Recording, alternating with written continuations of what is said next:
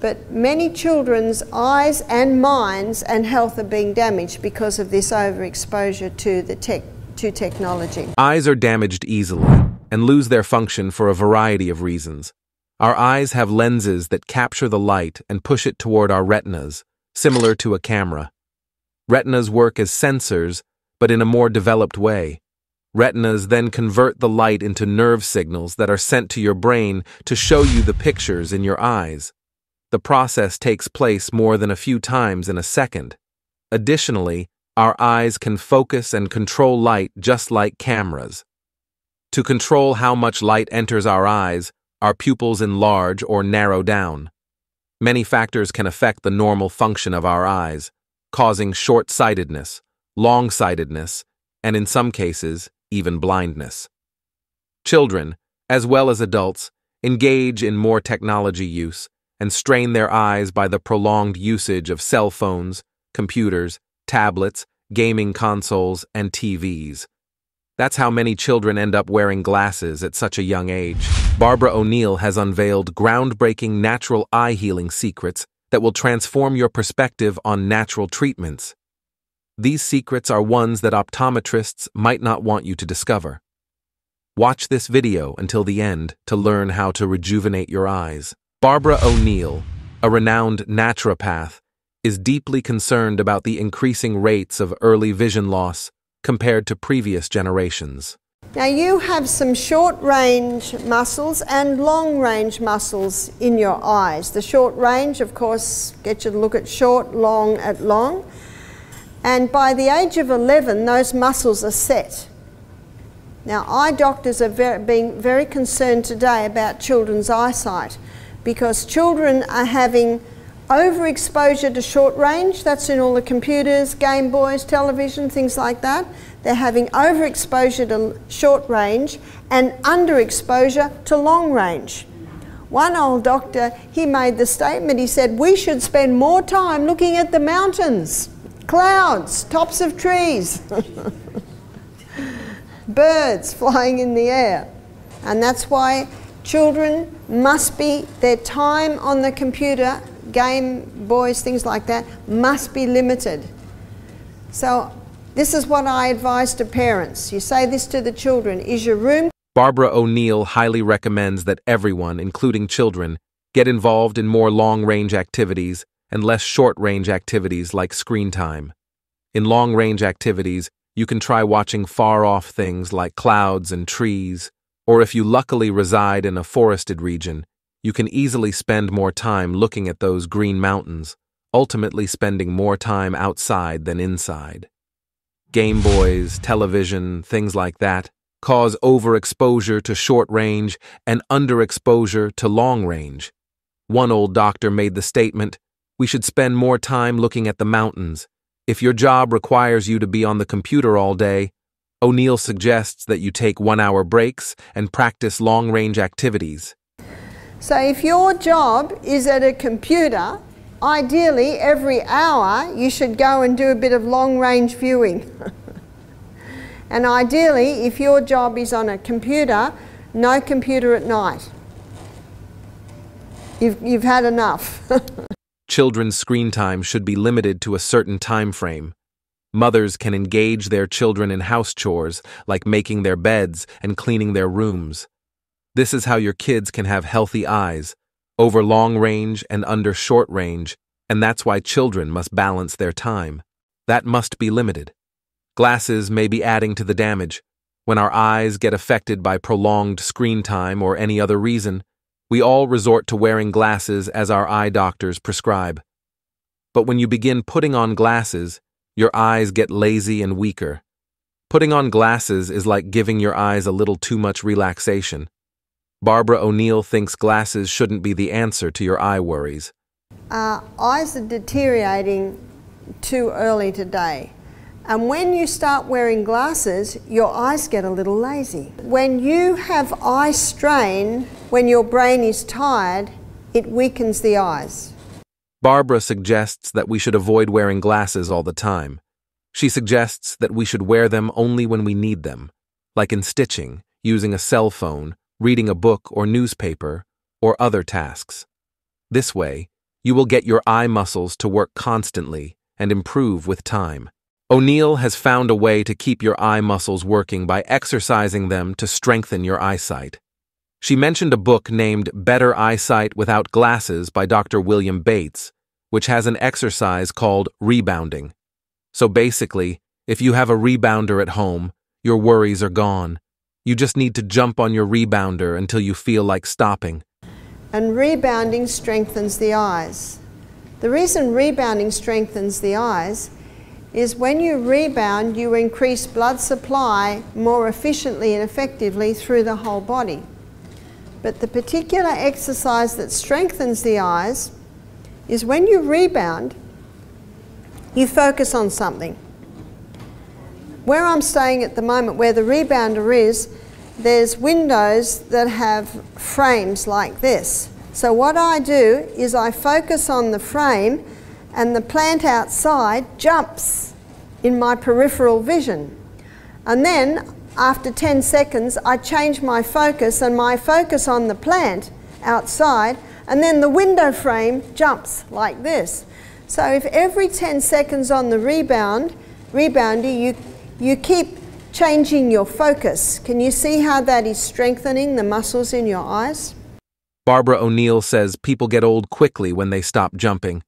Rebounding can elevate your mood, increase your serotonin levels, and it can trigger feel good hormones. The best part is rebounding can even strengthen your eyesight. Once you begin enjoying rebounding, there's no going back. O'Neill, inspired by Dr. William Bates, says that even the sunniest day can serve as a day to replenish your eyes. Sunshine can help your body produce vitamin D, which doesn't only delay the aging process, but also boosts your vision. If you avoid going out in the sun, your eyes will start to look dull and lifeless you will likely be getting photophobia, in which your eyes become sensitive to sunlight. Sunshine strengthens the eyes too. Never should we look at the sun, we know that, but just being outside, the ultraviolet rays from the sun go through neurochemical pathways and hit different parts of your brain. You see, your eyes are an extension of your brain. So your brain needs sun and your brain gets suns through the eyes and sun strengthens eyesight. Now, if you don't like going outside because it's so bright, and let's say we're in a room like this tomorrow, and in a break we go outside and it's, it's not a real bright room, um, the eyes can find it hard. Do you find that? So, what you do is you close your eyes, put your head up, and let the sun's rays go through your eyelids.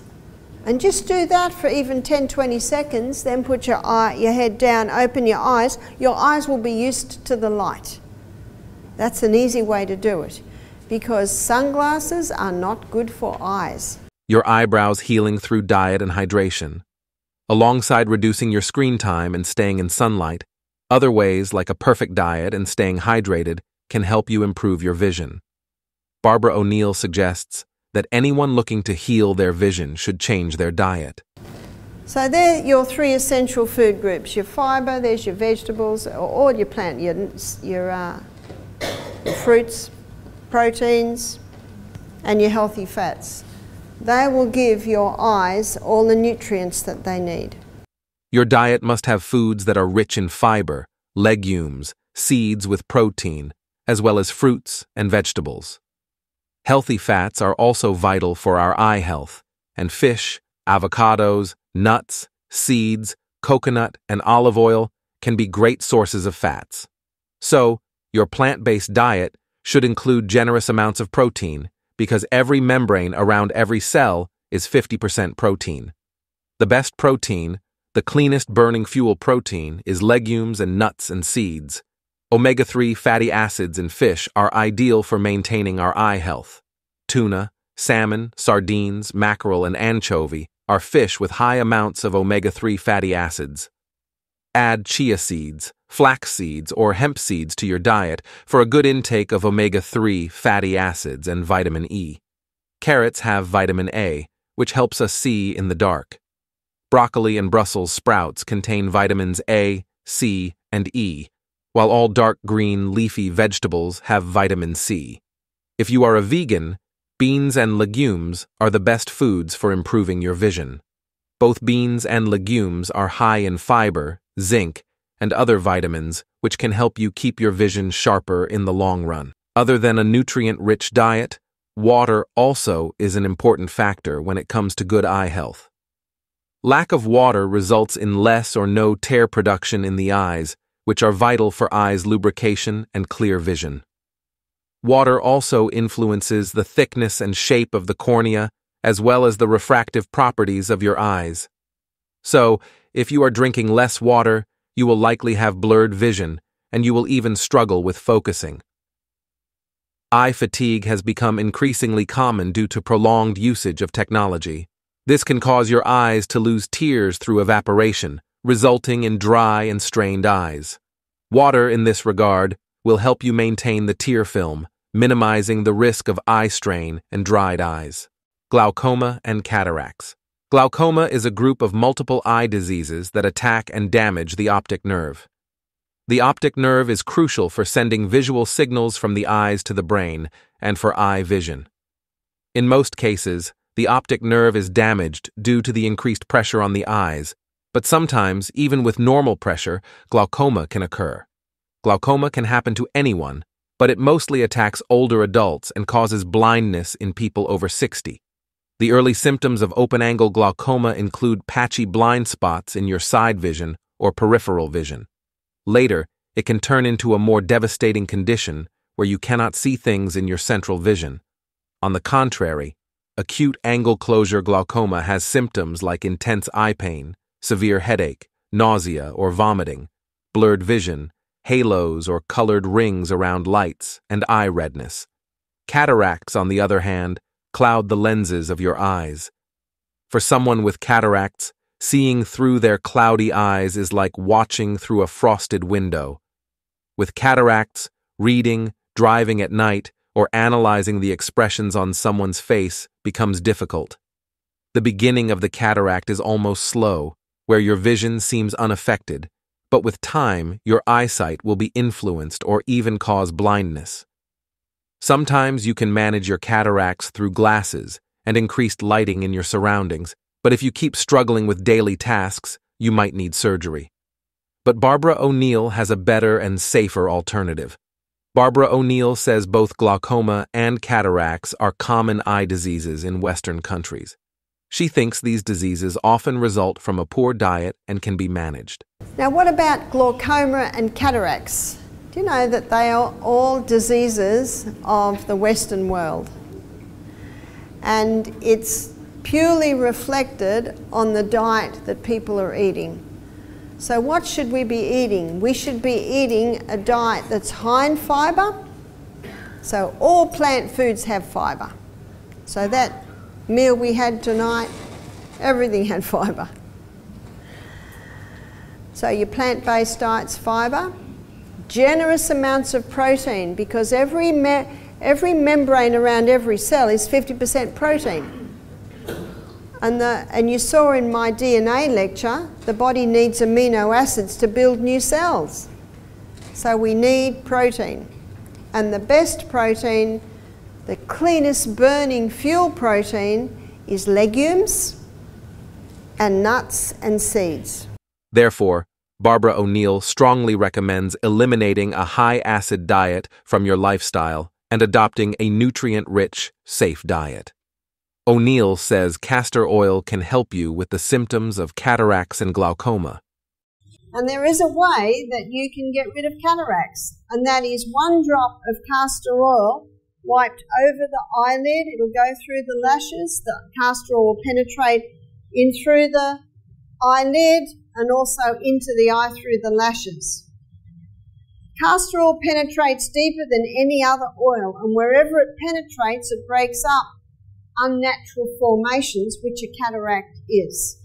I've had several people get back to me and testify that their cataracts are going by doing the castor oil.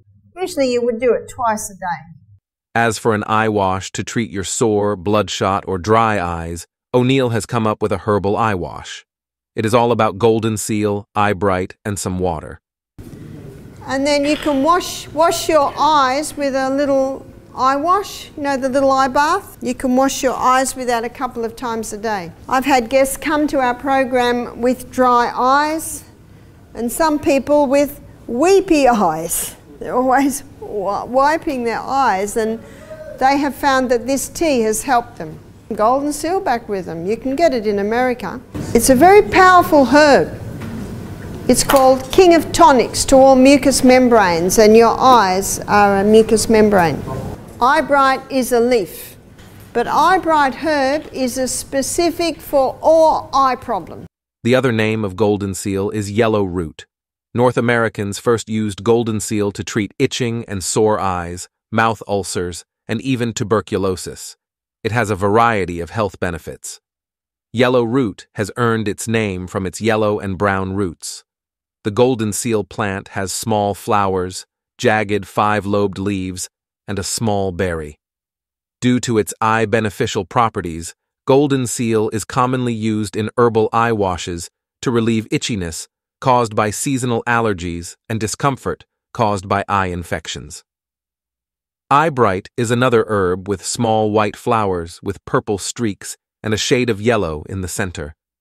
For centuries, eyebright has been used as an herbal medicine in European countries for minor eye issues like redness and irritation. Eyebright commonly grows in Asia, Europe, and North America, and blooms for a couple of months toward the end of its season. The entire herb, including the stem, leaves, and flowers, is used in herbal medicines such as tea or dietary supplements. Apart from herbal medicines, eyebright is also found in homeopathic medicines. Eyebright has originally earned its name because of its traditional use for treating eye issues. According to research, eyebright was found to be capable of managing inflammation in the cornea cells of the eyes. The cornea is the transparent tissue that layers upon the colored part of your eye. Eyebright also protects the cornea from sun inflammation and damage. A human study tested and backed its benefits, in which 65 adults with eye inflammation from pollen allergy, dust, wind, infections, and fatigue were given eye drops with equal amounts of eyebright and rose extracts three times a day. 81% of the adults were found to have soothed their eye redness, swelling, burning, and stickiness between 6 and 14 days. The remaining adults, on the other hand, saw significant improvements in their eye symptoms. How does Barbara O'Neill recommend we use Eyebright and Golden Seal together? Take half a teaspoon of ground golden seal and eyebright each and add them into a cup of boiling water. Once it cools down, strain it and wash your eyes several times a day. You can easily find these two herbs in herb stores in powdered form. So, there is an eye wash that is very beneficial for sore eyes, for bloodshot eyes, for dry eyes, and this can also be used for glaucoma. O'Neill says if someone's cataracts have extended to the last stage, i.e., blindness, they might need surgery to recover. However, trying castor oil for a month or two may prove beneficial. Eye twitching, or myokymia, is generally caused by alcohol, bright light, caffeine, eye strain, fatigue, eye surface irritation, nicotine, stress, or air pollution. In other cases, Eye twitching might be a sign of conditions like dry eyes, blepharitis, or light sensitivity. Dr. Barbara O'Neill says it can be due to the lack of magnesium in our bodies. She recommends having vegetables and fruits rich in magnesium to help with your eye twitching. Thanks to Dr. Barbara O'Neill's holistic approach, anyone can treat their eye conditions through herbs, exercise, and nutrients.